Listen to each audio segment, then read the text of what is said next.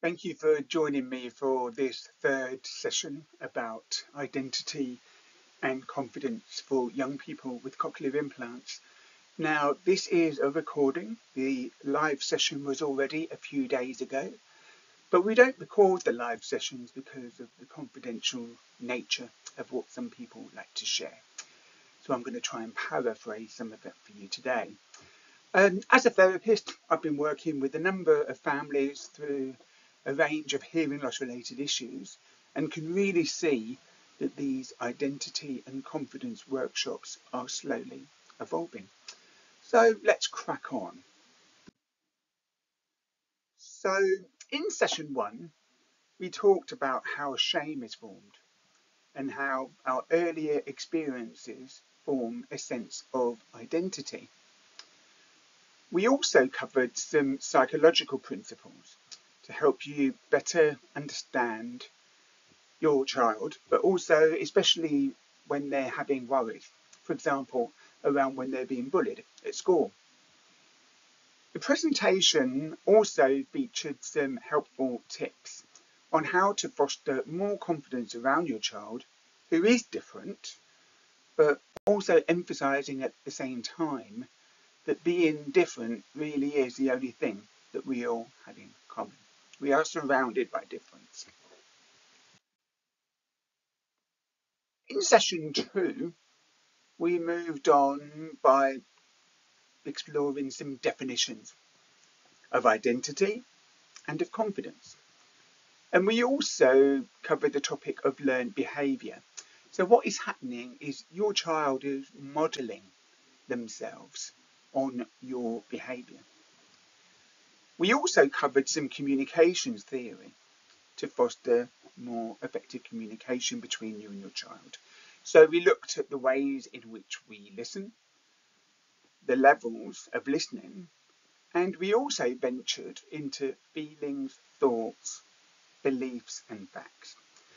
And it's important that we know the difference between those four, but also that a child learns the difference as well. Now, both of these sessions have been since recorded and can be found on YouTube. And this is obviously the recording for the third session. This is what we're listening to. So, this brings us to what I wanted to cover in part three. Can there ever be a deaf identity? Now, this is a very sensitive topic um, this topic has been a concern expressed by many parents and especially within some of the client families that I've been working uh, with. Now, what I usually do is halfway through these presentations is I'll stop sharing my screen during the live session and I will have a discussion, try to get some feedback.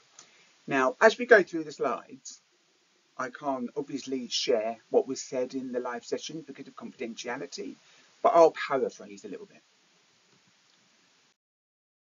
So, to kick us off on this, I'm going to bring in something that Rose Ailing Ellis said. Now, you might know Rose from the soap on the BBC, EastEnders, or from the or from winning being one of the winners of the TV series Strictly in 2021. Now she said that there are many deaf people that have so many variants of hearing. So with this in mind, I want us to look at some definitions, sorry, some definitions that the British Deaf Association created some years ago. I use these definitions to inform my work with families around my hearing loss work. To be deaf with a capital D is to describe oneself as having a strong cultural affinity with other deaf people, whose first or preferred language may be sign language. They may have little or no access to English and they will have a more severe to profound deafness. You may have actually heard of the deaf community, those who consider themselves deaf with a capital D will have a very strong attachment to others in the deaf community. The word deaf without a capital D is often used to describe deaf people who do not use sign language. It's also used to describe those who do not consider themselves to be culturally deaf, as in deaf with a capital D. And it might also be used to describe those who have a, some degree of hearing loss in itself. According to the British Deaf Association, the deafened is a way to describe people who have experienced sudden hearing loss, often due to illness or injury. Now, people in this group often describe themselves as having a hearing loss or having a hearing problem, and are likely to have learned to speak, to read and write before they went on to lose their hearing. And the British Deaf Association also um, considered the hard of hearing, who often have high levels of residual hearing, but may require additional volume or some kind of clarity or other adjustments. So, for example, hearing aids or cochlear implants. They may experience difficulty hearing speech and may no longer hear people whispering, for example. So from time to time, you may hear about deaf issues, and quite often there is a conflict between these four groups. This is why it's so important to have an awareness of the differences so that we can understand the perspectives of each unique group.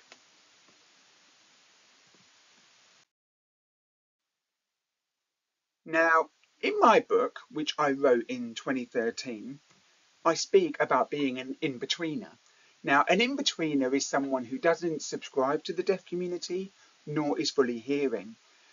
I actually found writing the book such a therapeutic experience that since then I've concluded I'm never going to fit in. So I live life by standing out. And to be fair, we are all in-betweeners. So if you imagine yourself at a party, for example, we are always going to come into contact with somebody who is different. There are the more obvious differences, such as people of colour or people with physical disabilities, but then there are the less obvious differences, for example, people with a different sexual orientation or religious beliefs. The truth of the matter is we are surrounded by difference. So what happened here during the live session is I stopped for a bit. So I actually stopped sharing my screen and had a conversation with the 20 plus people that were on the session. And uh, we had some general comments, but what I really wanted to talk about was, given the four definitions of deaf with a capital D, deaf without a capital D, the deafened and the hard of hearing, is it possible to define a deaf identity? Okay. So at best, I think we can achieve a strong identity of which hearing loss is a very small part. Otherwise, there is a danger that our hearing loss defines us. So we had a discussion about this, but for the sake of confidentiality, I don't want to mention any names, but it was actually a very, very fruitful discussion.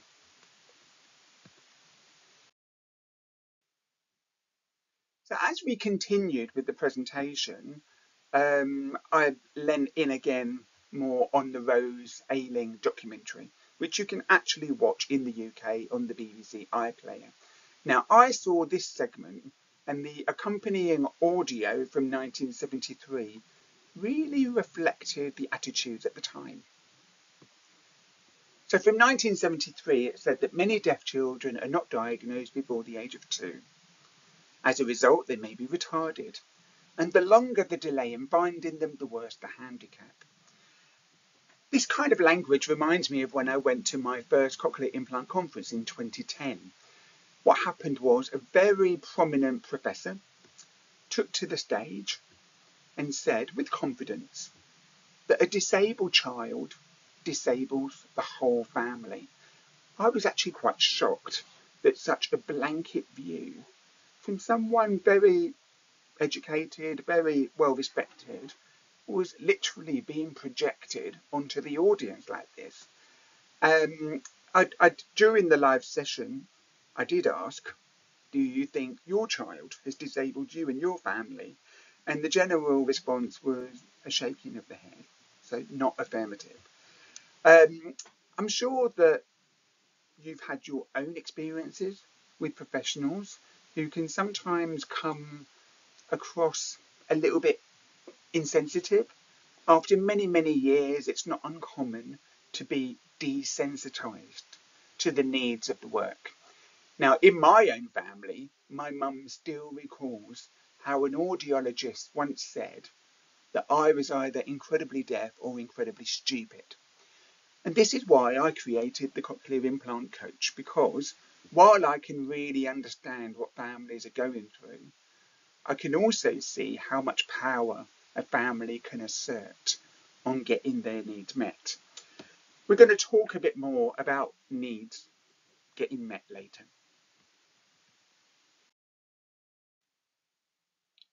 So just think how far we've come since 1973.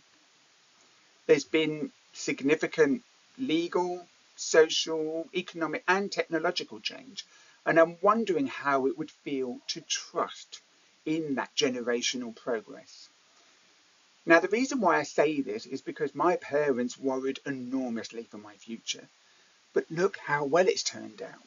So I'm left wondering, do you, as a parent probably watching this, do you need to be worrying as much?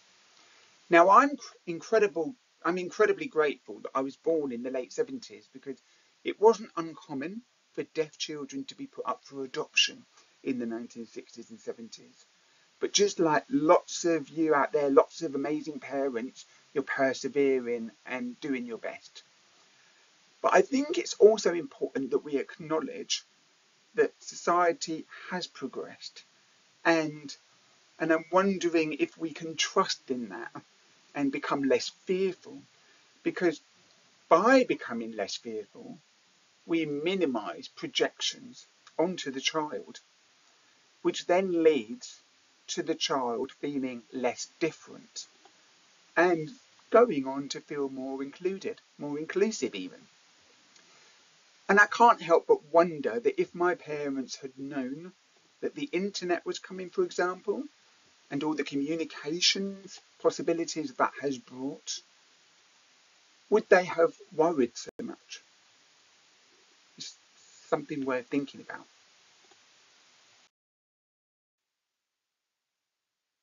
And it is true that how the family lives and copes with any sense of difference in a family is going to impact on how an individual grows up feeling about themselves.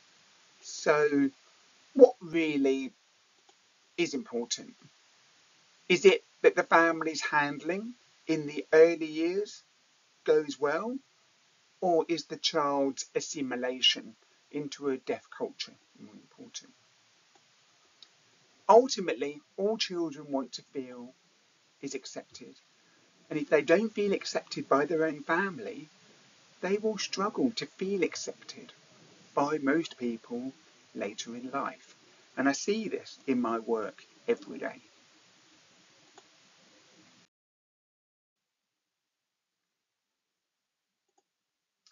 In the first session, we talked about where confidence comes from.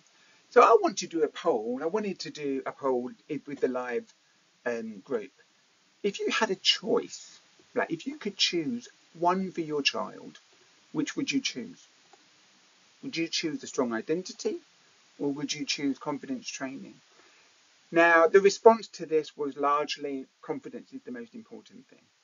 Okay, and that's absolutely right right because having a hearing loss is having a hearing loss and being able to connect with somebody with hearing loss can be very bonding. But it really is a very small part of your overall onion your overall identity. It forms part of your identity. But if we make our hearing loss our religions or our own opinions a huge part of our everyday presentation, we can be perceived as divisive. I like to think we are the sum of our parts. So the reason why I'm talking about this at such great length today is because many parents worry about their child's deaf identity. So I would actually go on to ask questions like this.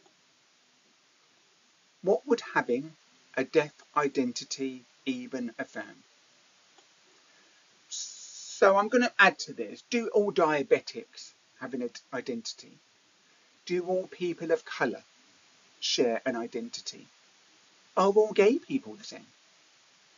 No, they're not. And with so many different variants of hearing loss, can all deaf people be the same? Should they even aspire to be the same? The answer again is no. So I can't help but wonder if if your child is that in-betweener and if you're really that concerned about whether your child might or might not fit in, given that there's more and more people having cochlear implants, should we be talking about a cochlear implant identity? These are just questions just to get us thinking about what the future might look like. And to also question, given that technological progress that I spoke about a few minutes ago, do we need to worry as much?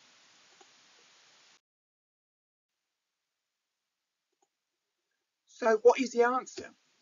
The answer is that developing confidence so that we can advocate to get our own needs met. This is, this is the absolute priority. Instilling a belief that we matter so that our children grow up believing that they matter too. But when I say this, I will emphasize equality, not priority. Now, my needs are not greater than anyone else's. They are just different. So when we go in wading in with poor communication, demanding X, Y, and Z, um, this is how we run the risk of being perceived poorly. Now, in therapy sessions, we can explore ways in which we can get our needs met. We can explore ways to communicate those needs while also putting in place firm boundaries. Now, these are invaluable skills for anyone who is going through life feeling like a burden, or feeling that they don't matter, or feeling so disempowered that they don't advocate for themselves and end up not getting those needs met. These are all common experiences for people with hearing loss. And when we've managed to develop that confidence to get our needs met, we get the support that we need. We do unfortunately live in an ableist society. Um, for those of you who are not familiar with the term ableism or ableist, this means that the world is built for people who are able. It's not built for people who don't have any special needs and therefore deaf people are bound to face challenges rather than being considered when and as new products and services are being designed. Now, in this respect, we are slowly moving away from the medical model where people like myself need to be fixed to a social model where society considers how to include me as new products and services are being designed. But that change starts with us. If we get better at advocating for our own needs and we communicate those needs well, we will raise awareness among the hearing population of what needs they might need to consider going forward. If we get better at this, we will all feel more integrated. So that's the end of another session. Now, in case you're interested, here are some of the services that I can offer. Um, in the very least, please connect with me. I'm on LinkedIn, I'm on Facebook, and I'm on Instagram. but please take a moment to visit my website. So there's the cochlearimplantcoach.com and there's also stuartmcnaughton.com. I am a qualified psychotherapist. I offer general counselling, but I created the cochlearimplantcoach.com specifically to communicate how I can help to anybody going through any hearing loss problems, any deaf related issues, but also the cochlear implant process itself. I hope you have a wonderful day wherever you are, and I hope to see you in a fourth session. So, see you soon. Bye for now.